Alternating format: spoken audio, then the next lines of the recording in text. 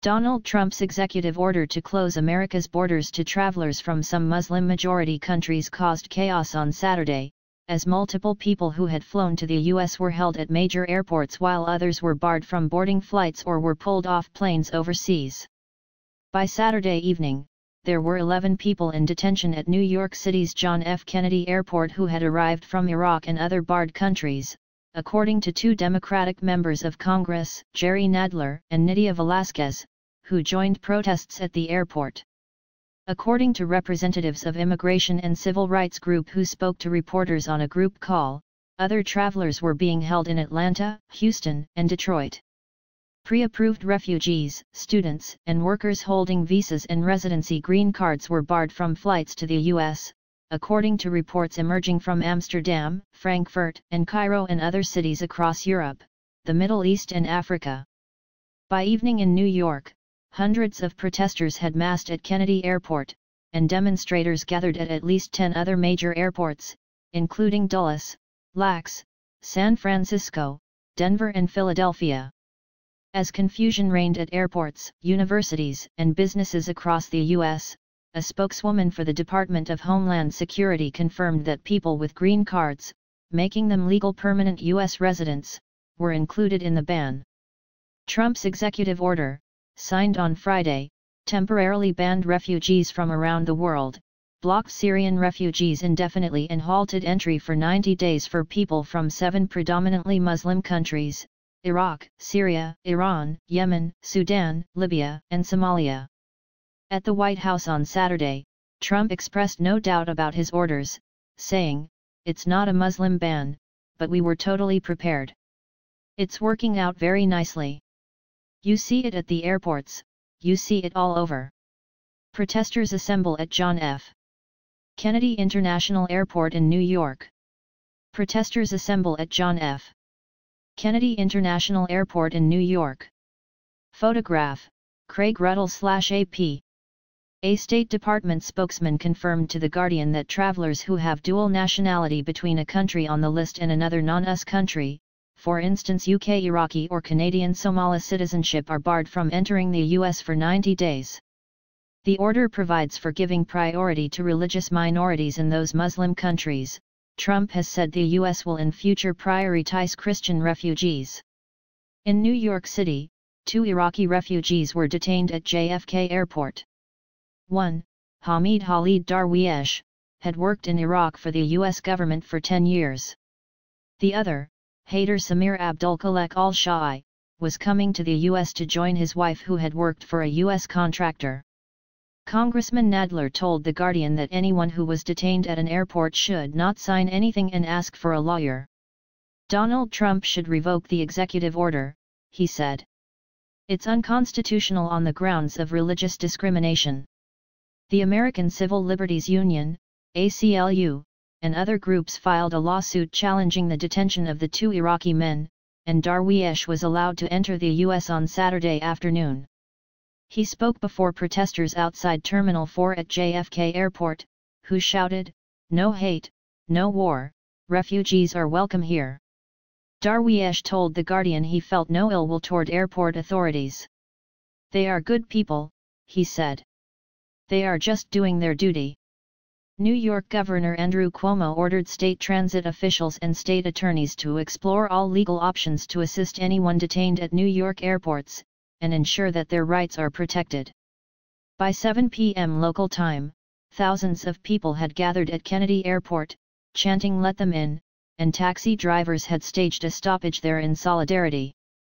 I never thought I'd see the day when refugees, who have fled war-torn countries in search of a better life, would be turned away at our doorstep, Cuomo said in a statement. We are a nation of bridges, not walls, and a great many of us still believe in the words Give me your tired, your poor, your huddled masses. Becca Heller, Executive Director of the International Refugee Assistance Project, IRAP, said dozens remain detained around the U.S. amid confusion between local authorities, federal agencies, attorneys, and the White House. Nobody knows at this point. Mark Doss, an attorney for IRAP, told the New York Times that a border agent directed him to the White House with his complaint, Mr. President, call Mr. Trump. Thanu Yakupitiyage, a spokeswoman for the New York Immigration Coalition, NYIC, told The Guardian, This is absolutely dehumanizing, I am livid, it's outrageous. We are sending someone to JFK Airport to speak to Customs and Border Control about this, people are in a state of shock. Overseas, airport officials appeared to err on the side of blocking passengers from listed countries. It was reported, for example, that seven people, being escorted by officials from the United Nations Refugee Agency, were prevented from boarding a flight from Egypt to New York after authorities in Cairo contacted their counterparts at JFK. Air Canada had reportedly advised people from the seven countries concerned not to board flights to the US, whether or not they held a green card. Melanie Nezer, Vice President of HIAS, a U.S. organization that helps to resettle refugees who had passed through the difficult U.S. vetting process, said 2,000 people scheduled to arrive next week were now stranded overseas. Mana Yegani, an immigration lawyer in Houston, said she had heard of several people with Iranian passports who were barred from US-bound flights leaving Amsterdam and Frankfurt. A number of other passengers were removed by security personnel just before takeoff from the European cities. The agents said specifically that they had word from the US that those passengers would not be allowed to travel, Yegani said.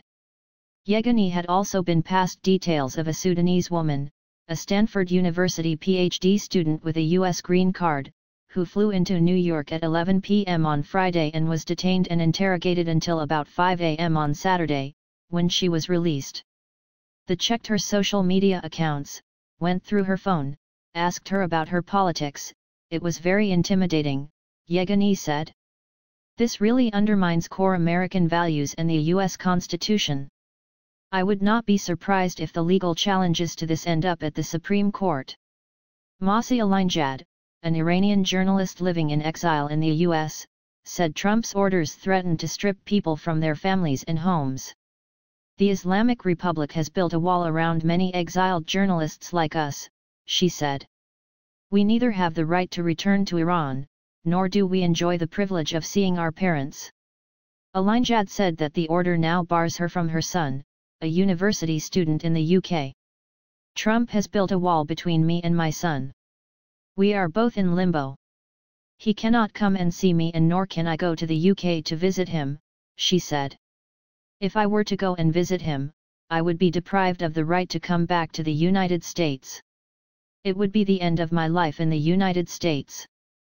The Council on American Islamic Relations, CAIR, will file its own lawsuit against the order on Monday, arguing that it violates the Constitution's guarantee for religion and due process. Yakupitiyage, of the NYIC, said the order was a step toward a more isolationist and cruel United States. We will be doing whatever we can with our legal partners to push back on this. It's religious discrimination and this will not make America safer. She stressed that many refugees and managed to pass through the arduous, 18 to 24 month vetting system that was in place before the orders. Many have waited years, she said.